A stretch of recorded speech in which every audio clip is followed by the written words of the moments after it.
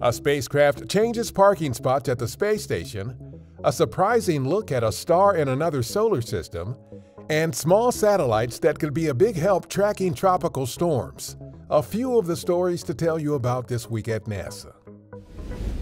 On May 6th, the International Space Station's Expedition 69 crew members who flew to the station as part of our SpaceX Crew 6 mission relocated their SpaceX Dragon spacecraft.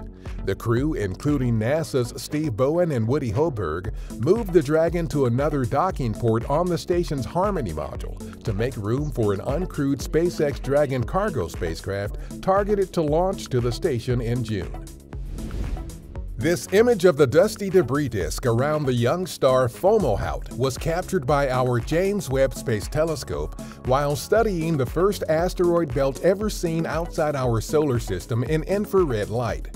To the surprise of astronomers, the dusty structures which contain three nested belts, including the never-before-seen inner belts, are much more complex than the asteroid and Kuiper dust belts of our own solar system.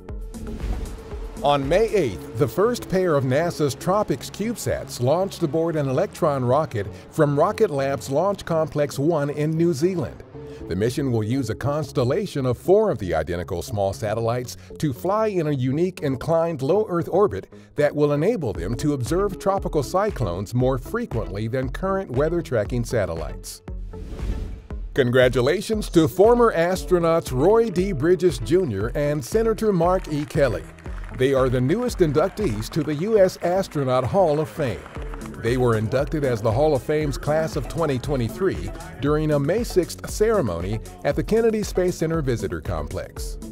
That's what's up this week at NASA. For more on these and other stories, follow us on the web at nasa.gov/twan.